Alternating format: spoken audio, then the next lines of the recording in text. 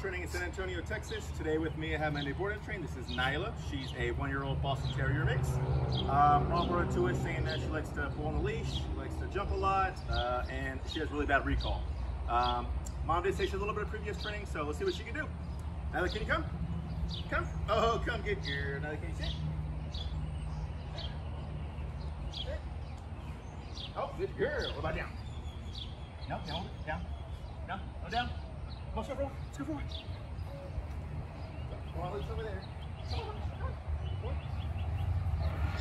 Okay, so yeah, not too bad. She's got her hammer, got her red box, and she's a lot of work. Uh, that's okay, we'll get free something in 15 days, so keep up with their progress, and all the pups we have here at Bulletproof Dog Training San Antonio, Texas.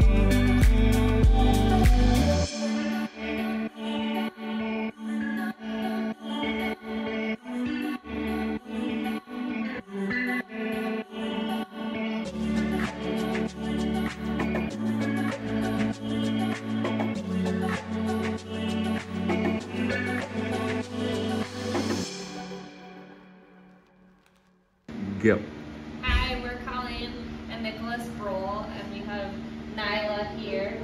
Um, Nylah was a pain in the butt before. She would run away. She wasn't listening when we would call her to come. Um, she would pull on the leash all the time, so taking walks was miserable with her.